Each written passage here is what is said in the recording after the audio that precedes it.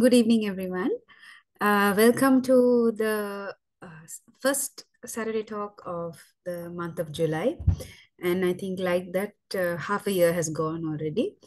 And uh, to start the beginning of the latter part of this year, we have with us um, Dr. D.P.C.K. Anandalal, uh, consultant neurosurgeon at the Lady Ridgeway Hospital, Colombo.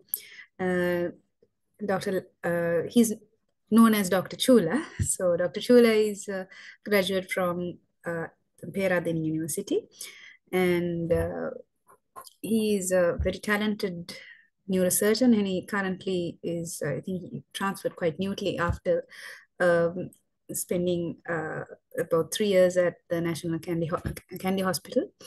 And uh, he's doing an immense amount of service in this uh, area of neurosurgery. And on a casual note, he is a lover of uh, Indian classical music, and uh, isn't that right? I hope I got those facts right from what I know. So, to start on the uh, proper uh, Saturday talk, uh, I invite uh, Dr. Chula to talk about intracranial pressure in clinical practice. Okay, thanks, Nilanka, and thanks, uh, for giving me this opportunity. Uh, I hope everyone can hear, isn't it? Yes, you're crystal clear. Yes. Okay. Uh, so this is not going to be a formal lecture on intracranial pressure because uh, the topic is quite vast and uh, its uh, basic science is still uh, quite experimental. So essentially, some of the applications in clinical practice even still uh, experimental. So that is why we see so much of variation among different institutions, different neurosurgeons uh, in the management of patients because uh, uh, some some scientific facts are still not very clear. So it's not going to be too much of theory on this, uh, on basic science, but I certainly stress on some of the applications uh, we commonly used uh, in clinical practice. And I'll explain the scientific principles of intracranial pressure behind those applications, basically.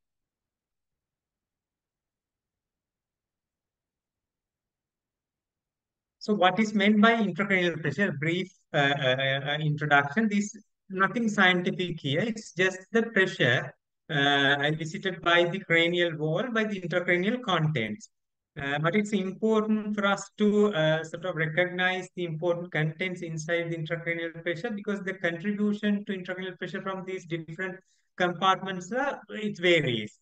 Uh, basically, we have meninges, then uh, cerebrospinal fluid, then blood, and then parenchyma. Those are the four main components.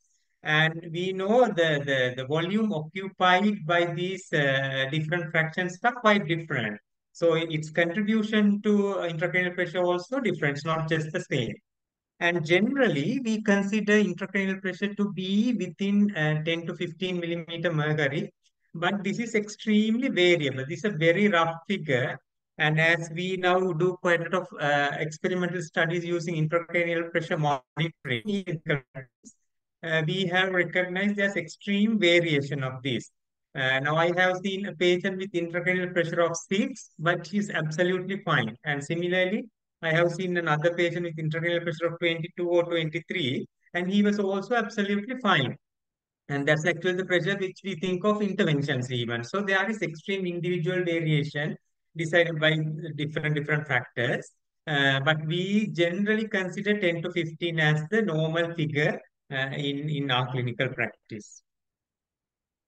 Uh, then there's important concept that we need to uh, uh, sort of uh, understand when it comes to the the cranial cavity. Structurally, it's not isolated compartment because it's a continuation with the spinal canal. But if you consider the, um, the functional wise, it's it's an isolated compartment. Uh, in other words, uh, the when you have increased intracranial pressure in uh, within the cranium, uh, the pressure inside the spinal canal does not uh, uh, change proportionately. So there's a big variation. So functionally, it's isolated. And uh, when it comes to children, there's another important difference which, which we uh, uh, which is important in clinical practice. In children, uh, skull bones are not fused. Uh, I mean, in very early ages. So the skull can expand. So its volume is actually variable. Whereas in adults, once the old skull sutures are fused, the volume is static. It cannot change. And this has a big uh, uh, impact on cl clinical variabilities, clinical presentations as well as in when it comes to the management. So roughly we have 150 milliliter of CSF uh, and more or less equal amount of blood uh, then rest of it is brain parenchyma. So vast majority of the volume is occupied by the brain parenchyma. Uh, so you can just understand that any parenchymal change can contribute a lot uh, towards change in intracranial pressure. And so something that I haven't uh, mentioned here is the meninges, because the contribution of meninges uh, uh, volume-wise to intracranial content is minimum if you compare with uh, other structures. So generally, uh, ignore uh, meninges when it comes to uh, structural contribution to intracranial pressure.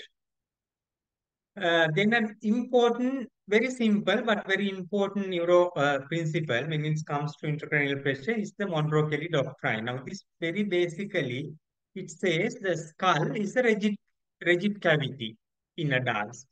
Uh, so, whenever uh, there's abnormal volume accumulating inside, obviously it brings up the pressure. So if you want to keep the pressure within normal, you have to take some volume out from the intracranial cavity. Uh, uh, that's what basically it says. It's a very simple one, but has a very significant uh, uh, contribution uh, to diagnostic as well as management strategies in, in clinical uh, neurology and neurosurgery practice. Uh, few causes of intracranial pressure. Now we, uh, I mentioned there are structural contributions from different compartments of the brain. Uh, so whenever there's abnormally high volume uh, from these the normal uh, compartments, it creates increased intracranial pressure. One common thing is the cerebrospinal fluid, where there is increased production or reduced reabsorption of CSF causing accumulation inside, according to Monro-Kellie doctrine, we can understand uh, uh, the pressures go on. That's what we call uh, hydrocephalus. Similarly, similar same thing can happen with blood also, especially with venous congestion. Now, if you have bilateral jugular obstructions, the venous outflow from the cranial cavity is obstructed. So there is some degree of venous congestion and that can actually contribute uh, directly as well as indirectly uh, to cause increased intracranial pressure. Indirectly mean if you have venous congestion, CSF reabsorption is, is uh, impaired. So it's indirectly and also directly also it can contribute because it occupies some volume. Then of course parenchyma, which is probably the most important in most of the situation, that is cerebral edema. You you get uh, swelling of the normal brain parenchyma and obviously occupy some abnormal uh, volume uh, inside the cranial cavity. Then you can have abnormal content inside, which is not normally found.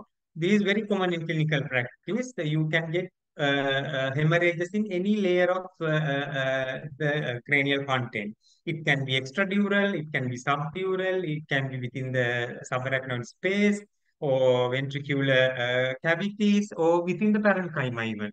So all these conditions can give rise to uh, increase intracranial pressure directly as well as indirectly. Then, of course, the second important thing in clinical uh, neurosurgical practice is tumors. Tumors mean always there is almost always there's a mass effect inside cranial cavity. Uh, say, uh, same thing goes with the abscess and empyema, so the infections. Uh, then, of course, uh, rarely, particularly in children, you see there's a reduction of uh, normal volume. Uh, particularly, you see this in craniosynostosis, that is uh, where there is fusion of skull bones prematurely. So the skull can't expand, but the brain tries to grow because it's the glial tissues has some growth capacity in childhood. So there's a discrepancy of volume and the volume which is there and volume which is going introduced into the cranial cavity. So that can also cause intracranial pressure. Not very common, but this condition we see quite frequently.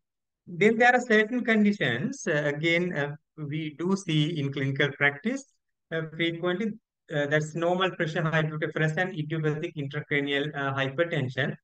Now, those two conditions have something to do with intracranial pressure, uh, but the actual, the real contribution is still not fully understood. Uh, what we have found up to now is there is uh, some uh, uh, variation, variability in intracranial pressure in these patients.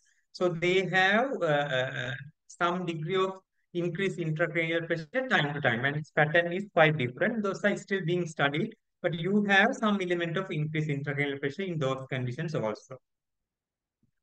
So when it comes to clinical significance of intracranial pressure, that's probably the most important uh, uh, uh, principle. That despite any primary pathology within the cranial cavity, the real emergency or urgency lies in the uh, intracranial pressure. Because whether it's an infection or abscess, tumor, or uh, some kind of hemorrhage, uh, patient will deteriorate and patient will die uh, because of the intracranial pressure, not necessarily because of its primary pathology. So that is why uh, the intracranial pressure we consider has to be a clinical diagnosis.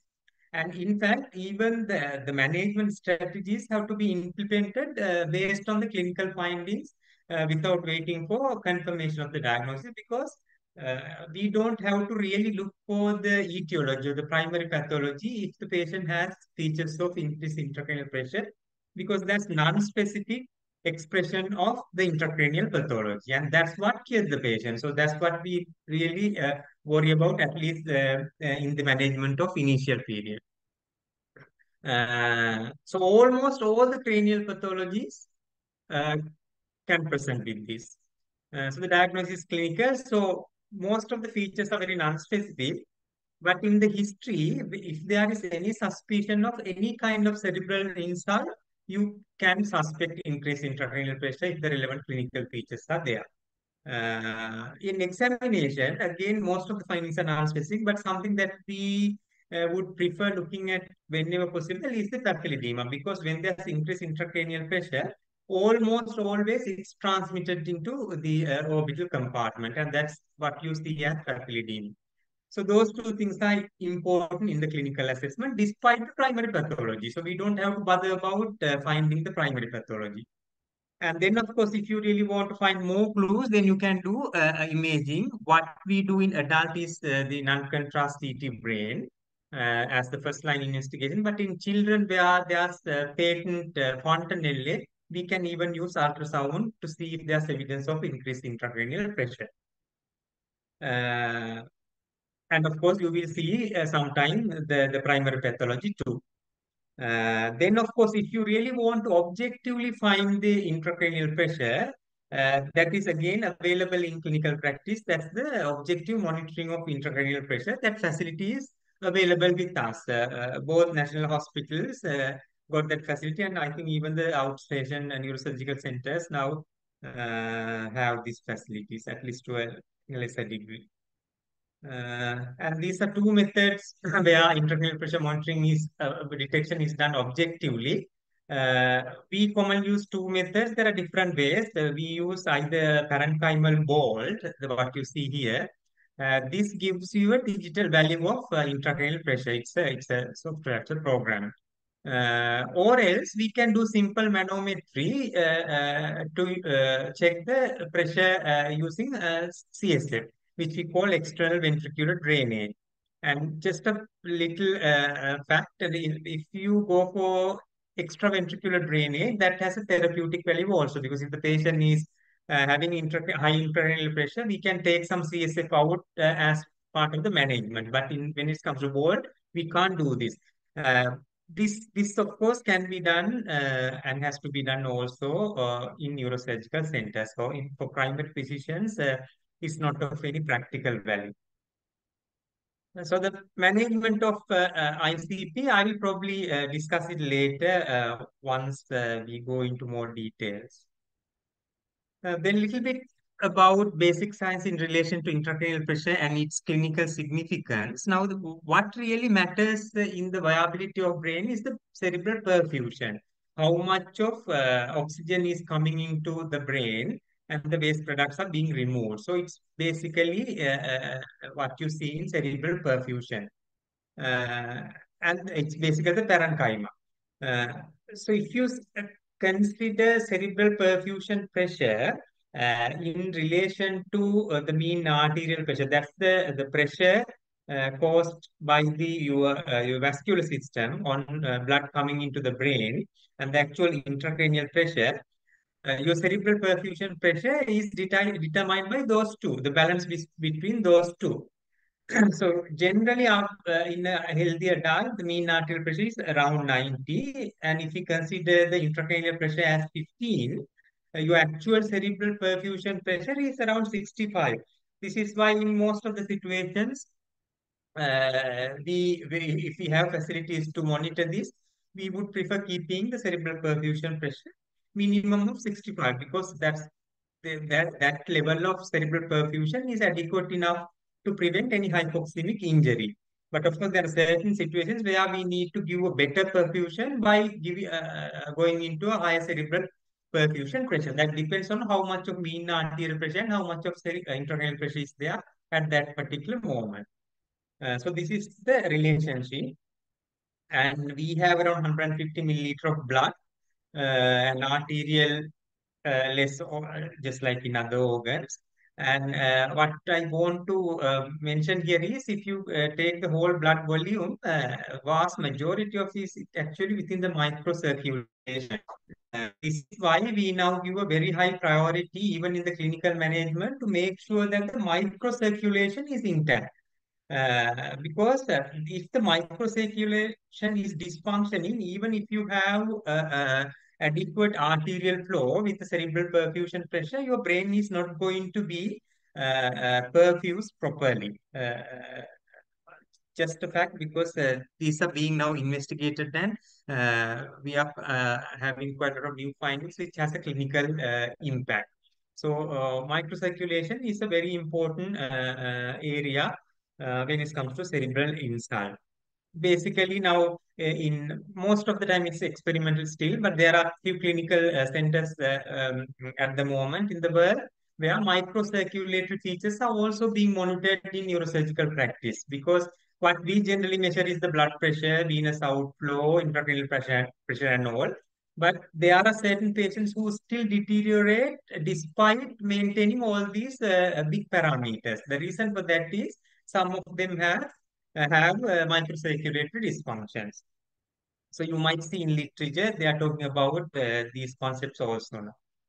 Uh, then uh, I said basically what matters is the oxygen consumption and you keep normal required oxygen consumption level by keeping your cerebral blood flow within normal uh, uh, using the cerebral perfusion pressure. And of course, if there's any disturbance for this mechanism, causing cutoff of uh, blood circulation, uh, including microcirculation, uh, neurons can die within roughly around four to six uh, minutes time. So this is why time is a very important factor when it comes to uh, intracranial pressure. And this time period is also quite variable, but we generally expect that to be four to within four to six minutes. Otherwise, you get some degree of irreversible uh, cerebral uh, ischemia. Uh, so effects of ICP, it's intracranial pressure, but your clinical picture evolved basically on three arms. So you get basically clinical features and effects due to pressure itself. Then there's another category of uh, clinical features and effects due to ischemia. And uh, the third category is uh, due to herniation. Uh, so we will go into these uh, three uh, in detail next because it's quite important in clinical practice. The first, uh, the first category of clinical features in intracranial pressure is it's due to pressure itself. Now we know when it's come to brain parenchyma, there are no innervation. Other organs has a neural innervation to detect stimuli. But in brain parenchyma, uh, to a vast major uh, major extent, uh, there is no innervation. So there is no sense in it. But there are certain structures within the brain uh, cranial cavity where there is innervation. The, the well-known uh, structural component is the dura. Dura is heavily innervated uh, uh, by sensory fibers. and it can detect the pressure. The only thing is that the cerebral plasticity is such that the increased intracranial pressure is perceived by the uh, uh, uh, perception areas of the brain as pain, pain in the sense headache. Now, when this headache is transmitted by C fibers, if you can remember basic uh, neurophysiology, the sharp, fast uh, uh, pain is conducted by bigger myelinated fibers. But most of the dural innervation is small unmyelinated fibers. Uh, and though there are nerve endings are also not free nerve endings which detects nerve. Some of them say it's the de detection is actually some structure, something similar to Pacinian uh, corpuscles. So there is some some difference when it comes to pain science in dura. But whatever it is, dural stretch stimulates these receptors and afferent fibers. And the pain that you get is the dull, non-localizing pain. That's what you uh, get with pain fiber, uh, pain coming from C fibers. So let's say um, if someone call me and say there's a patient with a head injury and the patient is complaining of, complaining of severe pain in a uh, in one point or well localized area, then I know that patient's headache is not due to intra increased intracranial pressure because there's a localized sharp pain means some something different. It's probably local injury. But whereas if a patient has a generalized headache, and, cannot uh, localize to a particular area, uh, then that is quite likely to be uh, uh, the pain or headache you get with increased intracranial pressure. So that's what you need to know. Severe localized pain is not due to increased intracranial pressure because we don't have large myelinated fibers innervating dura. Uh, then uh, this particular headache is generally increased when you put the head down. Generally, there are instances where there's the absolutely opposite happens. Uh, the, the reason for this is if you put your head down, there's venous congestion. And I said venous congestion itself can add into uh, increase intracranial pressure directly as well as indirectly. Uh, so this is generally aggravated. And uh, if the patient vomits, this uh, this gets real. What happens when you vomit, there is carbon dioxide washout. We know the cerebral uh, vasculature is very sensitive to carbon dioxide. If you have more carbon dioxide uh, uh, in brain parenchyma or CSF, the blood vessels are dilated. So there is contribution to increase intracranial pressure. Whereas if you wash out the carbon dioxide uh, and get rid of some uh, sorry, it's, something to do with the acid-base balance also, but I won't go into that. So you get some relief with uh, uh, vomiting. So those are features of headache uh, with increased intracranial pressure. And of course, patient can complain of visual disturbances due to pressure itself because this pressure can be directly transmitted to visual apparatus. We know even the uh, part of the optic nerve is within the cranial cavity, so obviously the pressure can have some direct effects. And even I said the pressure can be in fact transmitted through the arachnoid extension into eye itself. So there can be some ocular pressure and the ocular structures are well innervated by pain fibers. So you can have visual disturbance and uh, eye pain. And of course, papilledema I already mentioned. Uh, so those are the features due to uh, pressure itself. Then there are different uh, set of clinical features uh, due to ischemia and herniation. We will go into details next. So cerebral ischemia. Uh, so uh, one uh, important arm of pathophysiology of increased intracranial pressure is cerebral ischemia. We will be going into details in uh, uh, next few slides. But uh, just few things in relation to clinical features that you get with cerebral ischemia. Again, you can get headache, nausea, and vomiting. the mechanism of this is being extensively studied by uh, basic neuroscience uh, uh, scientists. Uh, what we generally, uh, there's nothing much, I think, related to uh, the clinical practice except the drugs that we use to prevent these symptoms. but the mechanisms to, I think, vast, great extent still not known. What we know is it's basically due to the ischemia into reticular formation. So the reticular formation is it's a it's it's an important structure in the brain, which of course regulate quite a lot of functions. And uh, ischemia of that particular structure can give rise to all these, especially uh, nausea and vomiting. Uh, then, of course, obviously, you get alteration of consciousness, uh, uh, which we call ischemic encephalopathy. Basically, your neurons to be function, you need adequate oxygen. If oxygen is not there, because we don't have oxygen reservoirs in the neurons. So once that uh, threshold is reached, your neurons are not going to conduct the electricity, basically. So it's not going to function. So you get alteration of consciousness, consciousness due to ischemia. Then you can get convulsions due to ischemia. That's also well studied. Uh, that has a big therapeutic effect because some of the anti-epileptics that we use actually act through these mechanisms. So basically what happens is we have uh, ischemia sensitive calcium channels which opens up and some close up. So there is imbalance in calcium. Uh, this is not the only mechanism, but we have some therapeutic targets based this. Then, of course, we can get cardiorespiratory changes. Again, we know the very lower uh, uh, uh, component segment of the reticuli has our respiratory and cardio cardiac centers in, in very simple terms in the medulla. So, ischemia to these areas obviously going to cause some cardiorespiratory changes. We will see those changes later. And then, of course, at the latter part of the uh, uh, disease progression, you might see pupillary changes due to brainstem ischemia. Uh, basically, this is due to, we know our pupils is, has the uh, parasympathetic as well as sympathetic innervation. And the parasympathetic innervation comes from uh, Edinger-Westphal nuclei of the vagus, uh, which lies in the lower part of the brainstem. So if you have brainstem ischemia, uh, there is uh, lack of uh, proper parasympathetic innervation. So you will see dilated and fixed pupils. So, but that's too late when you see that. Then, of course, the ischemia, if ischemia persists for, a long time or to a higher uh, degree, severity-wise, then, of course, at some point, the neurons will die, which we call irreversible cerebral ischemia.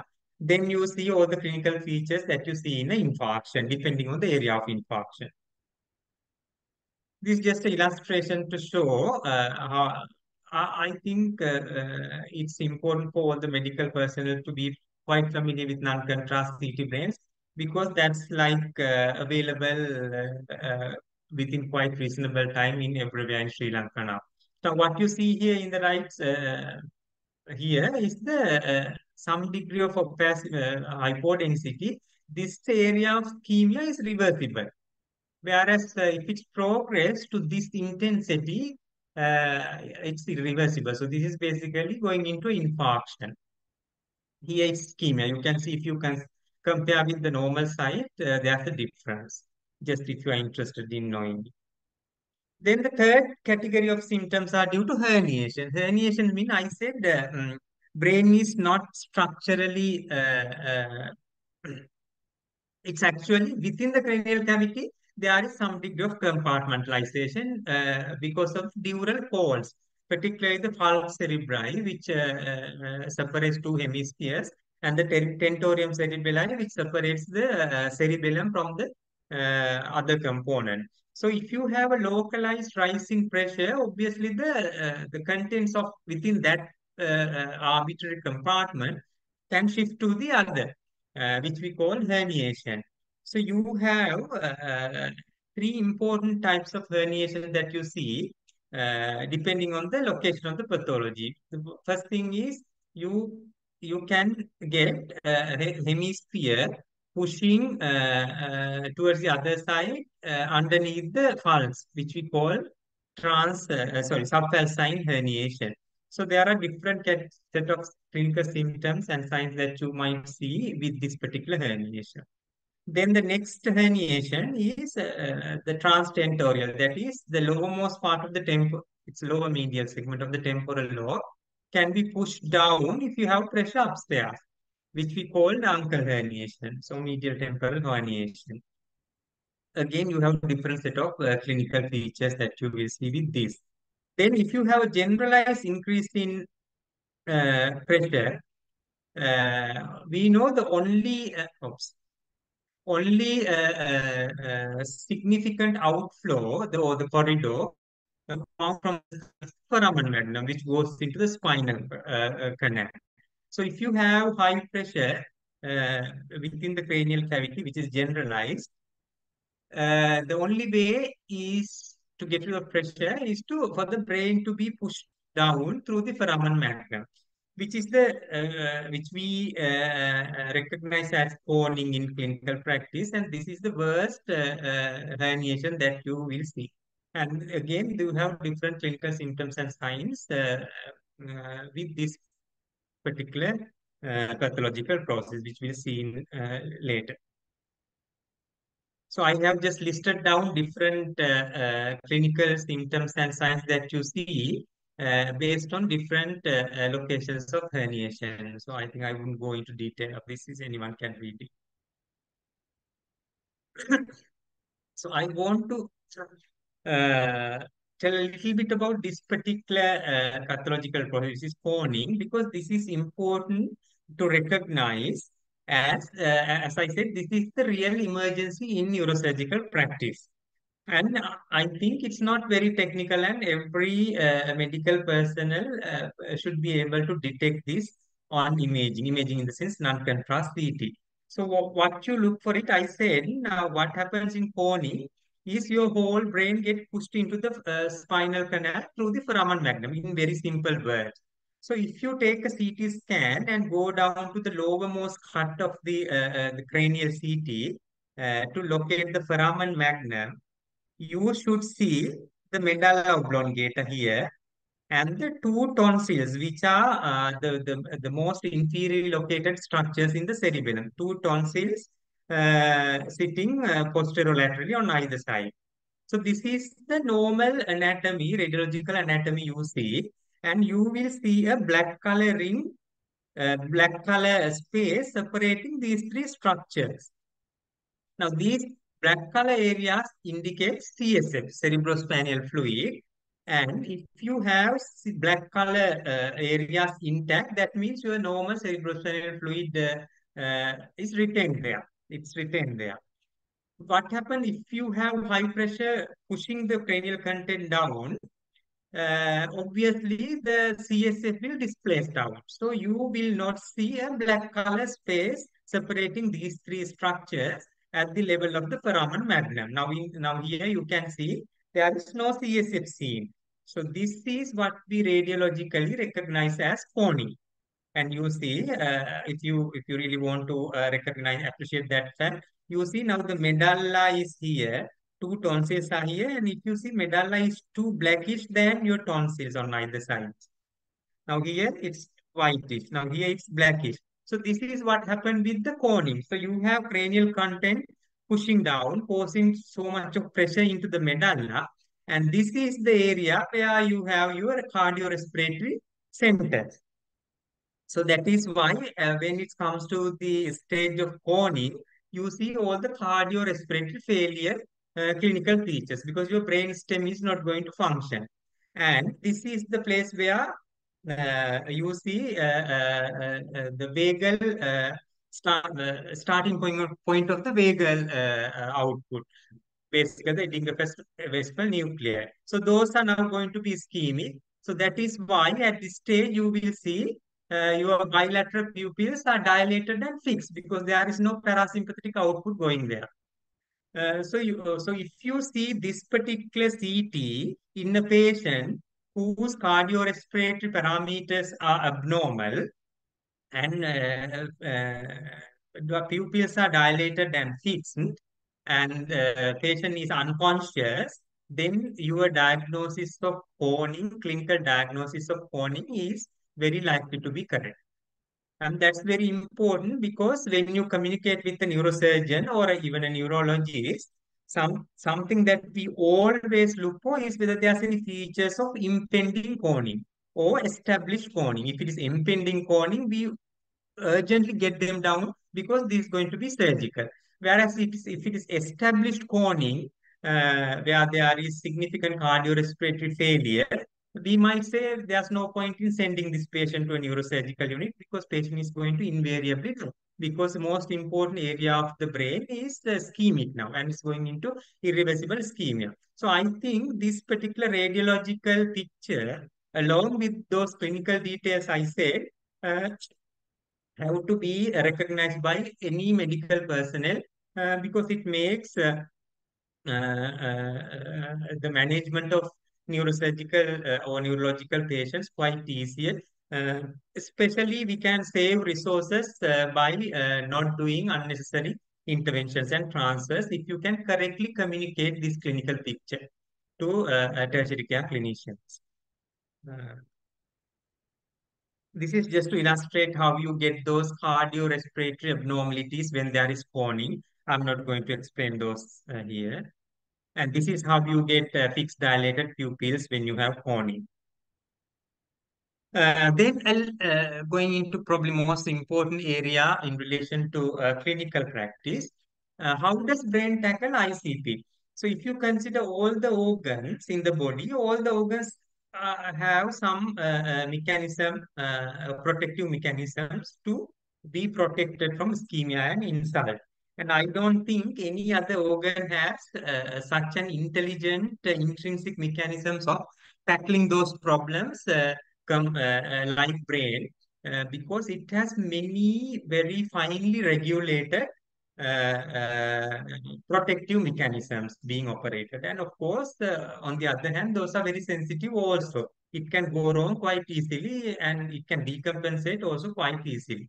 But the mechanisms are very strategically uh, linked and quite advanced if you compare with the, the protective mechanisms that you see in other organs. So, uh, making it very simple, what happens is when you have, it's basically the operation of Monro-Kellie doctrine. So, you have increased intracranial pressure for some reason. So, the first simple thing that the brain is trying to do is to send out some volume from the cranial cavity to keep the pressure normal. That's what the Monro-Kellie has told. Um, so the brain has the intelligent mechanism to pull uh, uh, put out the least important uh, component inside the intracranial cavity. So relatively least important uh, uh, uh, component inside the cranial cavity is the CSF because you can take out almost all the CSF without causing much clinical deterioration of the patient. So brain is doing that first. So when you go on doing that, after some time, it's if it is not enough, the brain decides to put out the next least important volume, that is venous blood. Uh, this, of course, we can't uh, remove all the venous blood. It's going to cause circulatory insufficiency. But to a certain extent, brain can handle that. So when that also goes for some time, then the brain has to send out restrict arterial blood coming in to keep the pressure. Now, this is quite serious because whenever the arterial flow is cut off, or uh, restricted to brain, that's going to, of course, it's it's happening uh, to keep the pressure normal, but that, of course, was going to uh, ischemic injury. There, where the problem starts. So that's what we call compensated versus decompensated phase, depending on which to which extent the arterial flow, flow is being restricted uh, inside the cranial cavity. I will explain it later. Then, of course, the last thing, uh, last thing to go send out is the uh, most important thing which you need to uh, keep inside the cranial cavity. That's the brain parenchyma. That's what happens in coning. So brain finally decides to put the uh, himself out to keep the uh, intracranial pressure in. I'm making it quite simple to understand, uh, but the, using very non-scientific terms. So that's the terminal stage, which we call coning. And by this time, of course, as I explained previously, uh, it's very likely unsalvageable. So this is the basic mechanism uh, within the cranial cavity to handle intracranial pressure before neurosurgeons or neurologists or whoever do anything. A little bit of cerebral perfusion and ischemia. I think I will skip this. It's it's basically the uh, what we have learned in our physiology. Uh, just a little thing uh, uh, about this particular hemodynamic change you see with the increased intracranial pressure. That's uh, important to understand because it has a diagnostic as well as, of course, decision-making uh, significance. So to keep the, the idea is of all these protective mechanism is to keep the cerebral blood flow adequate enough to uh, give enough oxygen. And how does the brain do this? Is uh, uh, by uh, keeping the cerebral perfusion pressure in. So what happens is when your you brain try to increase the mean arterial pressure so that uh, it's pro provide more cerebral perfusion pressure when the uh, intracranial pressure is high. The basic principle I told you before. But what happens is uh, when the ICP uh, increases, uh, this is detect this has some compromisation of the cerebral circulation. So the brain ischemia, very early degree of brain ischemia is uh, detected immediately by the vasomotor centers, particularly in the brain stem. And these vasomotor centers stimulate the parasympathetic output as a protective mechanisms to bring up the blood pressure. Uh, so we know we have sympathetic outflow into our blood vessels as well as the heart. So heart will start functioning more, heart rate will go up. Uh, so there will be tachycardia, in, increased strength of contraction. And meanwhile, the, the peripheral blood vessels will constrict. So your blood pressure will go up and the mean arterial pressure will increases, providing more cerebral perfusion pressure. But what happens is, when this happens, the increased systemic pressure is detected by baroreceptors in your uh, carotids and uh, aortic arch. And those signals will be conveyed into brain stem uh, via glossopharyngeal and vagal afferents. And that goes and stimulates the parasympathetic outflow. So parasympathetic outflow, we have only into heart. There is no parasympathetic outflow to our blood vessels. So previously we had tachycardia and increased contractility. Now the parasympathetic is coming to heart and uh, asking the heart to slow down. So there will be relatively bradycardia now and the less strength of contraction, but nothing will happen to your blood vessels. So what happened compared to previous stage, your blood pressure still will uh, stays high, but the heart rate will drops down. So you will see some degree of hypertension with bradycardia. Initially you had hypertension with tachycardia. Now, this particular phenomena is called Cushing's reflex because this was described first by uh, the Sir William Harvey Cushing's, who is considered the uh, father of neurosurgery because he has described quite a lot of uh, important principles that we, we use even uh, today in clinical practice. And this is something that we always want primary physicians to recognize whether the patient is in Cushing's or not. And we know the initial period of Cushing's it's quite transient most of the time. You have hyperactive circulation, you see hypertension, tachycardia. But established Cushing, so you have hypertension with bradycardia. So it's important to recognize these two stages. And what happens is now this uh, Cushing reflex is it's, it's completely a compensatory mechanism. So once this happens, this all the whole biological phenomena uh, have some restrictions. It can't go on forever. So once this reach a particular threshold, when there is significant brainstem ischemia, uh, uh, your uh, none of the sympathetic or parasympathetic outflows going to function properly, which means you are going to get a, complete circulatory failure. Uh, that happens once the established Cushing's also uh, passed. So at that when that happens, what you see is hypotension with bradycardia. Basically, your cardiovascular system has collapsed. So at this stage, there is no Cushing's. It has, Cushing's has actually failed. That is terminal. And that stage, we don't uh, get, uh, despite whatever the neurosurgical emergency that you see in your imaging, we ask uh, the primary team not to send those patients to neurosurgical centers because they are invariably dying because the whole brain, uh, the whole compensatory mechanisms have failed. So these three stages in a patient who is suspected or diagnosed to have ICP is important for any medical personnel to recognize the, circulatory uh, parameters. So first use, first stage is tachycardia, hypertension. Next stage is bradycardia, hypertension. Third stage is bradycardia, hypotension. Uh, so that's why, uh, apart from GCS, uh, we always want the, uh, uh the person who is referring, uh, making the neurosurgical referral to give us these hemodynamic parameters because that help us to recognize which stage of uh, compensation or decompensation is there within the patient. That's important for the management. So that's a bit about Cushing's. Okay.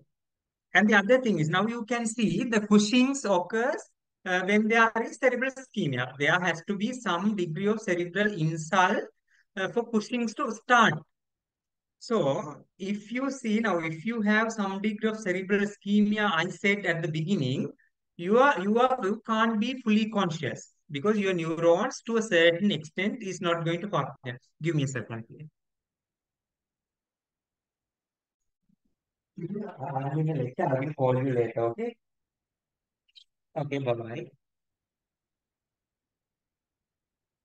I'm sorry about it. Uh, so what happened is, uh, uh, oh, I can't remember now. All right. Okay. So Okay, fine. So what I said, is, so even for the Cushing's to start, Cushing reflex to start, there has to be some degree of cerebral ischemia. And if there is some degree of cerebral ischemia, you can't have a patient who is fully conscious because uh, some of your consciousness uh, uh, uh, maintaining neurons going to be dysfunctional. Uh, so if, if somebody call me and say, "Uh, we have urgent neurosurgical referral, and I ask why, and they say, this is something that we commonly encounter. That's why I'm telling. Patient has features of Cushing's reflex. So when I ask, oh, why do you say Cushing's reflex? They say there's hypertension and bradycardia. Then I ask, what's the GCS? And sometimes uh, my answer I get is, GCS is 50 the moment someone says GCS 15, I know that is not Cushing's because you can't have a patient with Cushing's reflex, especially second stage of Cushing's, that's uh, hypertension with bradycardia.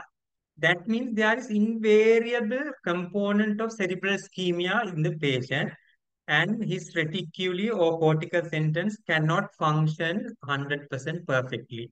So if you have a patient with hypertension and bradycardia, even the even if the patient has uh, imaging evidence of intracranial pathology, that's not Cushing's if GCS is 15 because you can't have a patient uh, uh, whose uh, compensate ischemia is there at least to a certain degree with properly functioning neuron. So when you before you diagnose Cushing's reflex, you need to uh, uh, recognize the level of consciousness. It cannot be 15. It can be 14. Patient has to be at least drowsy. It's generally more than that, but at least that as there is a significant variation, but he cannot be fully conscious. That's not Cushing's. Uh, this is just to illustrate how the brain uh, uh, keep its blood flow uh, uh, within a fixed range despite the variation of mean arterial pressure and cerebral perfusion pressure. Now, this particular phenomena is only seen in cerebral circulation. Other organs, if there is more blood pressure, more blood flow. if there's less blood pressure, less, blood flow. But brain, it's not so a, massive uh, range, like from 15 to 150 millimeter mercury, your blood pressure remains uh, stable, which we call autoregulation. And this, this is how the brain try to keep its oxygen uh, uh, uh, supply intact despite increased intracranial pressure. So I'm not. This is also extremely studied to a very fine scientific levels because it has uh, uh, people are developing quite of uh, treatment strategy, therapeutic strategies based on this. I'm not going to explain all this here.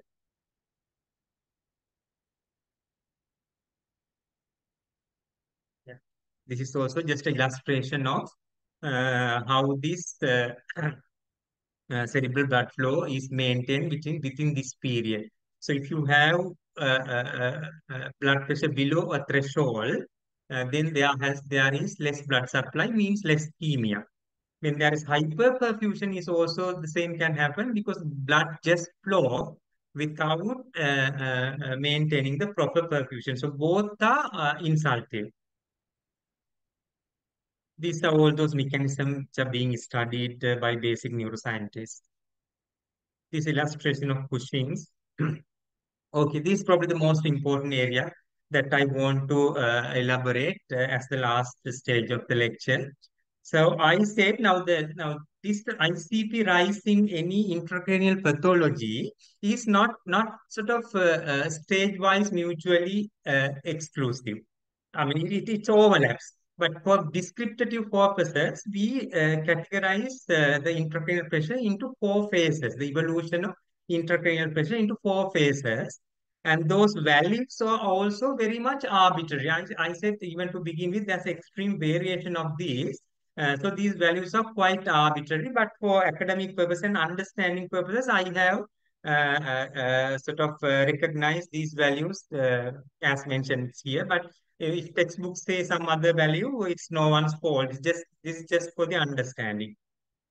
So first phase of increase intracranial pressure, I said that the normal pressure is 10 to 15, so up to 20 roughly. Up to 20. This figure can be 18 in one book and 22 in another book, so it doesn't matter. So I just consider this as 20 for my own understanding and teaching purposes. Uh, so up to uh, uh, 20, uh, roughly uh, this uh, first stage um, is there. So what happened in this particular stage is your brain is compliant, which means your brain, the cranial cavity, can accommodate some extra volume without uh, uh, bringing up, uh, without compromising its uh, function, without creating more ischemia. Because it uh, particularly what happens is uh, you probably brain probably send out CSF out to keep the pressure intact. Because CSF is the least important I said. So this is what happens at this stage. So you don't see any cerebral ischemia here. Uh, uh, so the ischemic stimulation is not there. So hemodynamics are normal or maybe very minimum changes. And the cerebral blood flow, cerebral perfusion pressures are all maintained in this stage. And the, all the compensatory mechanisms are intact. Uh, so you will see very little clinical features, probably some headache, maybe a little bit of uh, nausea because of slight increase in pressure, but not much uh, uh symptoms due to ischemia, and you cannot have uh, symptoms due to herniation because the pressure is still at the very very first stage. And uh, if you assess the patient, your patient is either fully conscious or maybe little drowsy, what we call GCS 14 to 15. That's what we generally uh, get uh, when we get information from our patients. So if the GCS 14 to 15 is probably uh, in the first stage of increased intracranial pressure.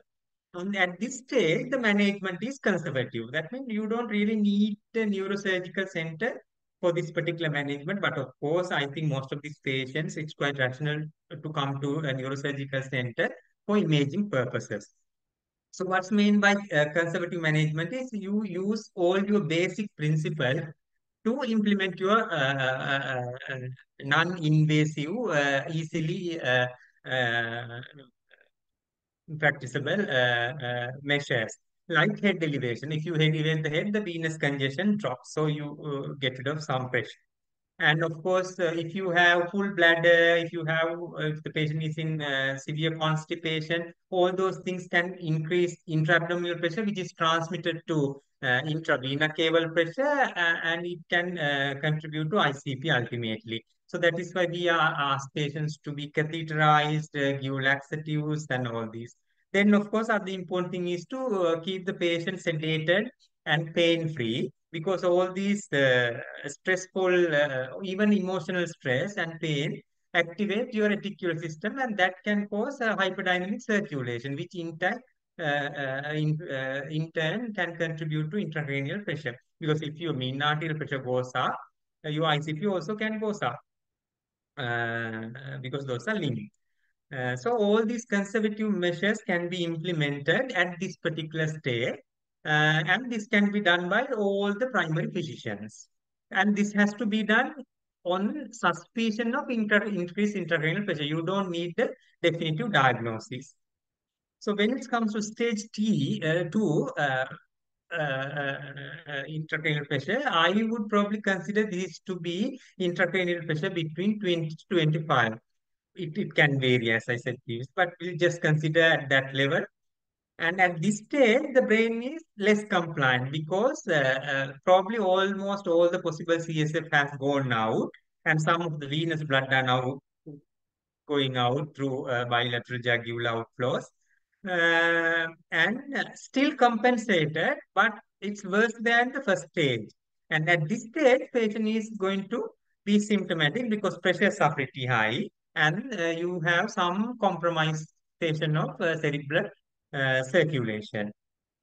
So ICP itself mechanically compressed venous compartment and there's mechanical compression of arteries, reducing the blood flow in. So there is some degree of ischemia at this stage, but ischemia at this stage is generally completely reversible. That's the importance. Uh, then uh, this particular ischemia is now will be detected by uh, uh, uh, uh, the vasomotor centers, centers, and your Cushing's will start. So what happens at the first day? You get hypertension, tachycardia, high, hyper, sorry, your breathing is quite fast to take oxygen. So all those things happens. So if you say then of course, uh, obviously the GCS will be low because there is some degree of ischemia now. And generally, according to my experience and what is mentioned in uh, literature, as well as what I have seen in experimental studies which are published in basic neuroscience research, generally the consciousness will be around 14 to 12, uh, which means there is significant compromisation of cerebral function. Uh, uh, so at stage there will be, uh, as I said, hemodynamic changes too, but not fully established Cushing's. You will see hyperdynamic circulation in an attempt to provide more blood. So basically, brain is attempting to keep the cerebral perfusion intact. So even this stage, the, uh, it's compensated uh, intracranial pressure. So at this stage, of course, you need to implement medical management uh, so basically medical management, I'm not going to go into details, but as we commonly use, we go for hyperosmolar therapy. We know mannitol and uh, uh, hypertonic salines are being commonly used now. Uh, then these are depending on the situation actually, suspicion of the cause because it's not going to work for everything. Uh, for example, if it is cerebral edema, or both of these going to work, mannitol and hypertonic saline. In uh, then the, if the cerebral edema is vasogenic, uh, there is a place for steroid. Now vasogenic edema you get with tumors uh, uh and uh, infections, so there is a place for steroids. Uh, but not with not for cytotoxic edema. Now in trauma you get cytotoxic edema, so there is no place for steroids in trauma. then of course your ICP is high due to increase cerebrospinal fluid production or reabsorption. Then you can block CSF production by giving acetazolamide. So those are medical uh, uh, uh, treatments that we com commonly implement to manage uh, ICP and these things has to come apart from those conservative measures uh, when it reaches the second stage. This is just an illustration of the second stage, how you get ischemia. Then the third stage, uh, I would consider at this stage, uh, probably the intracranial pressure is 20 to 30. 25 to 30, roughly. Uh, and at this stage, now probably the, the all the uh, info, unwanted stuff has gone out and then uh, if you send anything out from the cranial cavity, that would be arterial blood and uh, brain parenchyma. And that's going to be very serious because if you restrict uh, arterial blood, brain is going to be reversibly ischemic and infarcted. And of course, if the brain is going out, that means chronic. So this phase is going to be the decompensating phase of increased intracranial pressure because the compliance is lost now. And now you see compensatory mechanisms are starting to fail. And at this stage only you will see the fully established Cushing's, that is hypertension with bradycardia. So uh, CP, uh, cerebral perfusion pressure is brought to the maximum by I mean arterial pressure and it's go can't go go go go go beyond that. Uh, uh so basically your uh, Cushing's is now operating at maximum level. So if you consider ICP, let's say cerebral perfusion uh, somewhere around 150 and the ICP has gone to 25, you need to have at least mean arterial pressure of uh, 175. Uh, so you should have uh, high blood pressure with bradycardia. And sometimes uh, another common phenomenon uh, in RFRS, uh, if we get information saying that the patient has evidence of Cushing. So when I ask what's the blood pressure, sometimes it's 150 uh, by 90, 80. And that's very unlikely to be Cushing's because we uh, you see here, and if the ICP has to reach 25, uh, and at that level, to, for you to keep uh, um, cerebral blood flow intact, I said it can go up to 150 maximum. So let's say even if you have reached the maximum, it will be 150 for, for plus 25, which means 175. So minimum it has to be 175 for you to definitely say it's Cushing's. So what I generally think is um, below 160 of systolic pressure, it's very unlikely to be uh, Cushing's even if it is hypertension and bradycardia. So pressure has to be very much high. Of course, there's a little exception for this. This depends on the pre-existing blood pressure of the patient. If, if some if the patient has very low pre-existing blood pressure for reason, even 150, 160 uh, will indicate Cushing's. So I don't think uh, it's a very strict statement to make,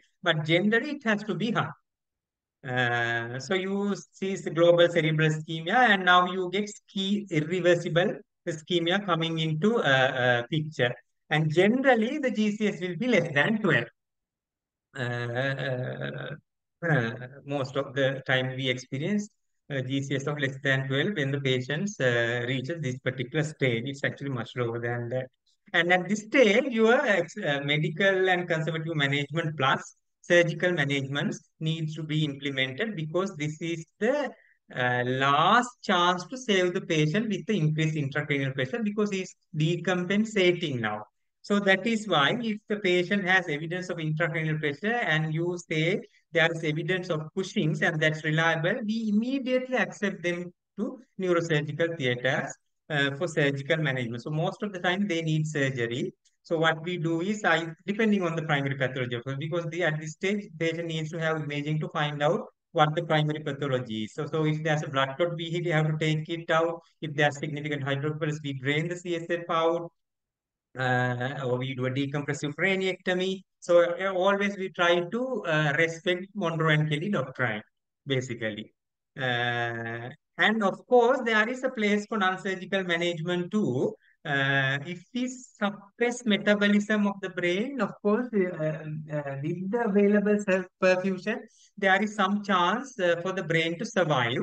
This we uh, this is not very popular but if there is contraindication for invasive uh, uh, techniques or even if the after invasive uh, strategies still uh, if the patient is failing uh, we can implement those high-end metabolic suppressions at this stage we generally go for barbiturate coma but in some centers they are trying extremely hypertonic saline like 20% saline in bolus in fact, they say that can actually bring down this uh, intracranial pressure equal to uh, uh, what you get in decompressive craniectomy. But the complications are quite high. But those are the management strategies you will see in neurosurgical practice if the patient is coming in this particular stage.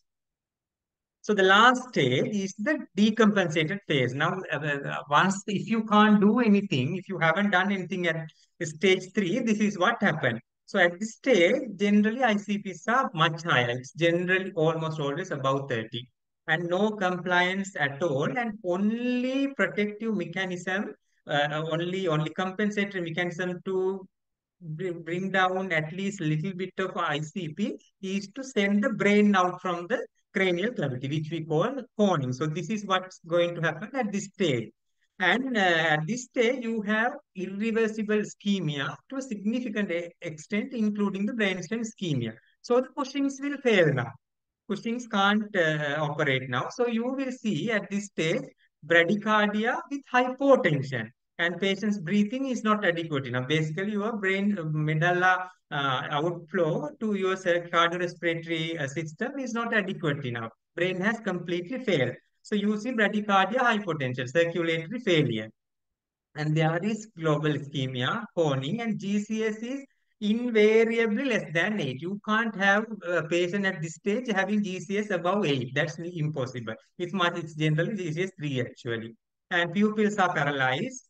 Uh, uh, fixed and dilated, and ultimately patient will go into cardiorespiratory arrest. And this is what happened. And if if if if the patient is in established decompensated phase, it's very unlikely for neurosurgeons to accept this patient to a neurosurgical center despite having operable intracranial pathology in imaging. I know quite a lot of primary physicians become very unhappy when we give this decision, but we are implementing this particular management strategy at this stage because it's worthless, because patient is going to invariably die, or there's a little chance that the patient can still survive, but completely vegetative.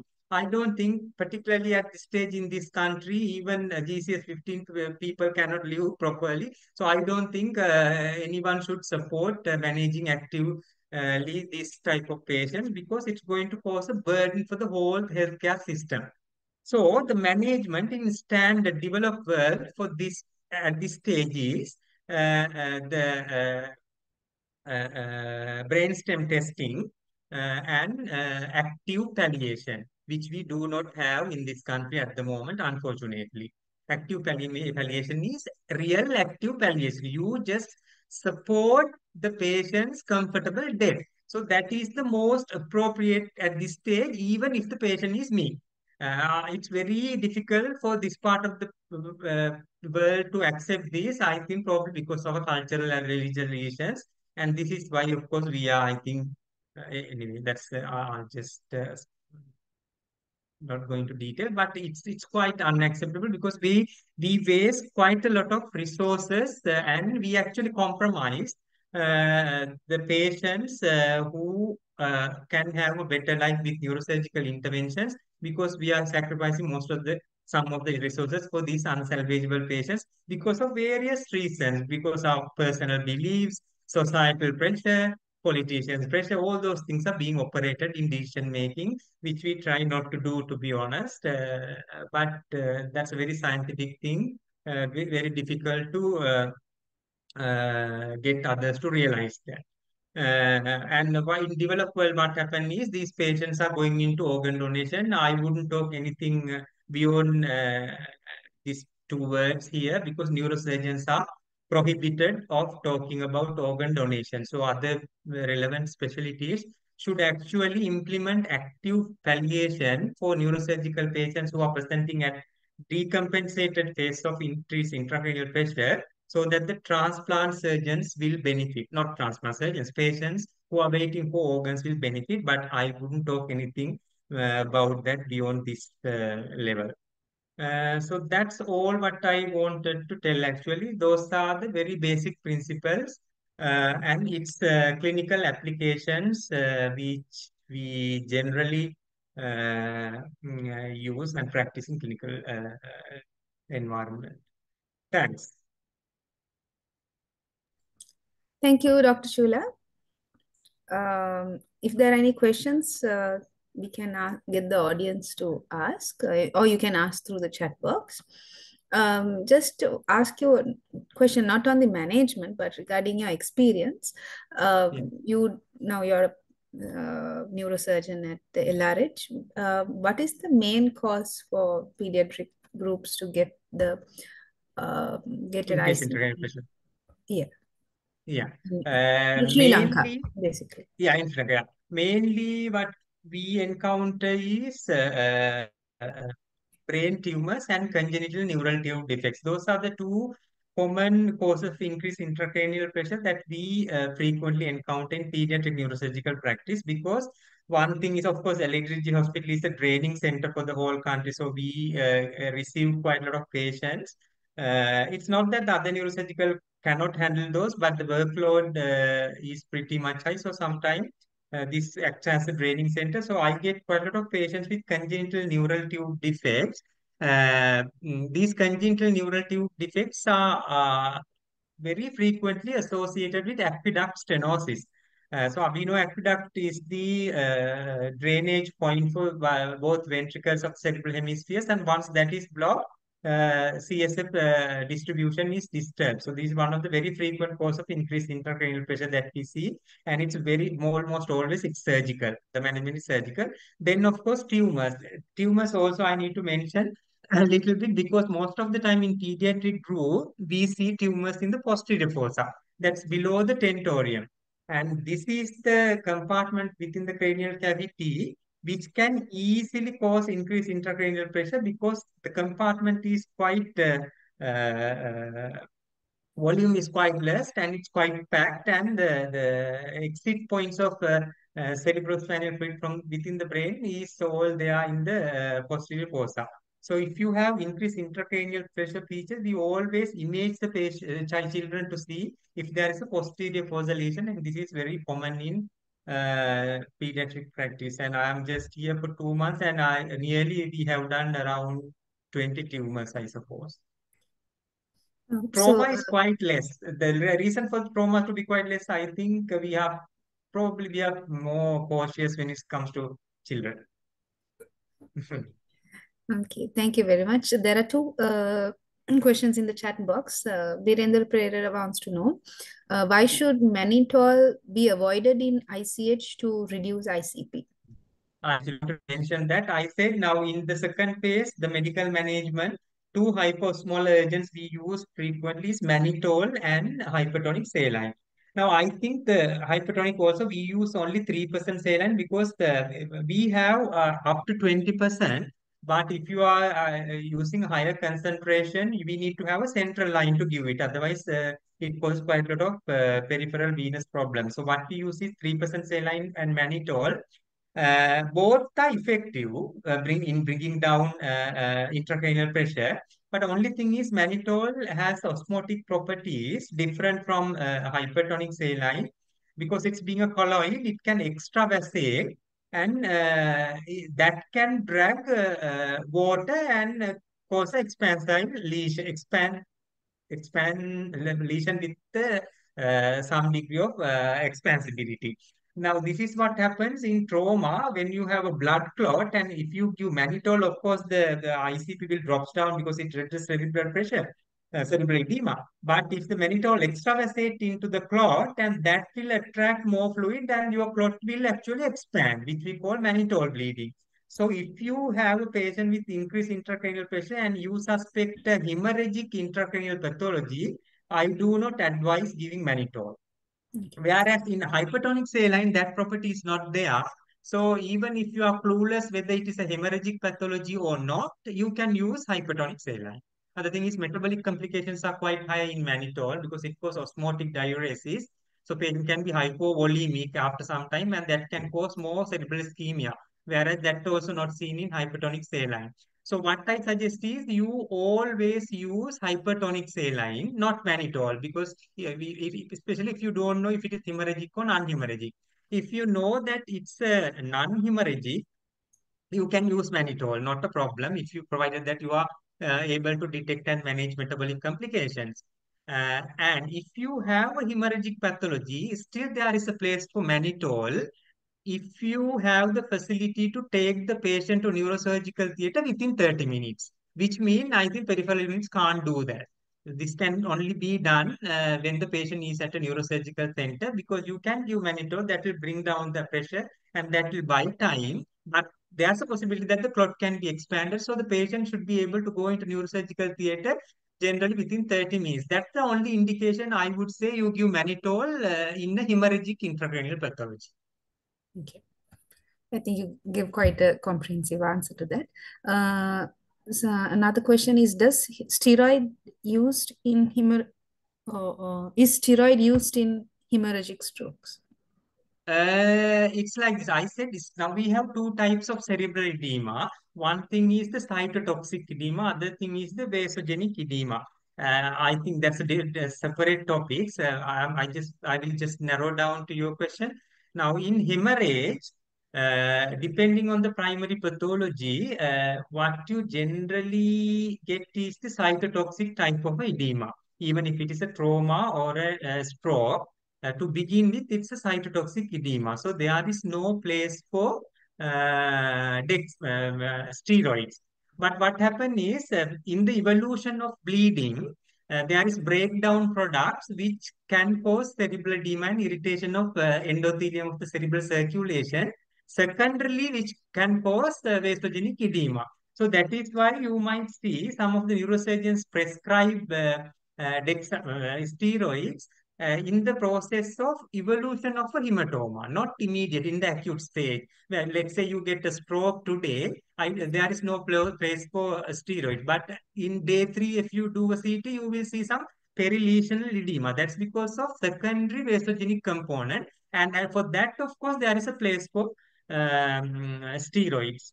But primarily for hemorrhagic pathologies uh, uh, in trauma and stroke, uh, in acute stage, there is no place for Okay. Uh, there are three more questions. Um, uh, what is the prophylactic antiepileptic of choice in cases of raised ICP? Hmm. And does the underlying cause affect the choice? Yes, it does. But in general, uh, use of prophylactic anticonvulsants are now being uh, massively discouraged because uh, the reason is uh, mm, uh, in uh, this actually depends on the primary pathology. Uh, but most of the time, we, like starting anticonvulsants when there is first episode of clinical convulsion or EEG evidence of subclinical convulsions because then we know it's definitely therapeutic. Uh, uh, prophylactically, in selected situations, uh, depending on the personal preference, we start, and some of the neurosurgeons actually still, I mean, it's quite routine for them. But I think that decision has to come from neurosurgeons. So the primary physician should always consult either neurosurgeon or a neurologist to see if there is a place for prophylactic anticonvulsants because that has to be a customized decision for that particular patient. So, if in vast majority nowadays we do not recommend uh, uh, prophylactic anticonvulsants. Indications are there, but it's it's too technical, so I won't sort of elaborate on this. But particularly, I would say in trauma, I think that's what probably they are asking. In trauma, there is no place for prophylactic anticonvulsants according to most of the experimental and clinical evidences. Uh, sometime, uh, of course, uh, uh, some of our senior neurosurgeons still use it because that has been traditionally used. So you might see a completely different practice for what I say. But if you see NIVAS guidelines and the standard practice, particularly in UK, I'm quite sure in Australia too, uh, they do not ad, advise giving prophylactic anticonvulsants in trauma until you get first clinical convulsion or EEG evidence of subclinical convulsions. So best thing would be to consult a neurologist or a neurosurgeon. Okay. Uh, thank you. Then uh, fourth question is in children with cerebral abscesses, uh, when are we or when should one go for surgical interventions? Mm. Yeah, that, uh, that because traditionally cerebral abscesses were considered a neurosurgical emergency.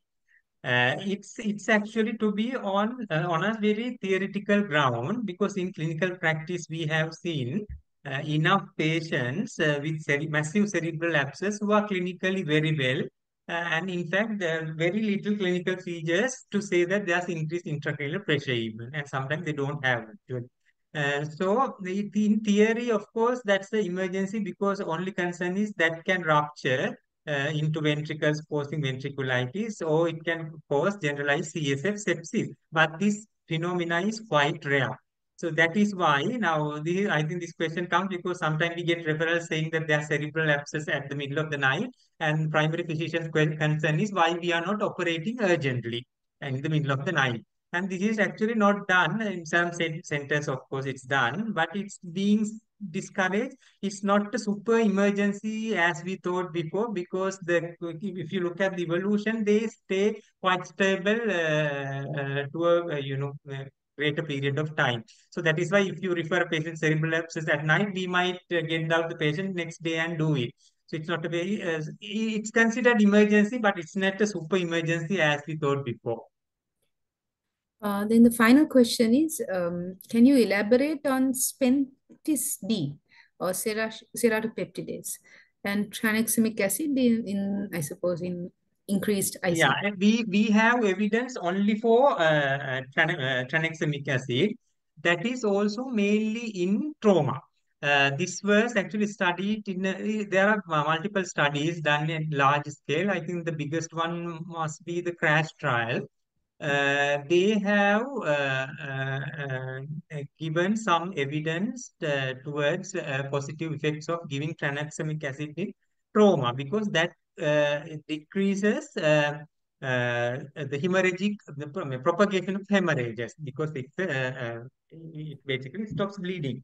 Uh, but for uh, other hemorrhagic pathologies such as uh, it, it can stop bleeding to a certain extent, but its deleterious effects also can be quite significant.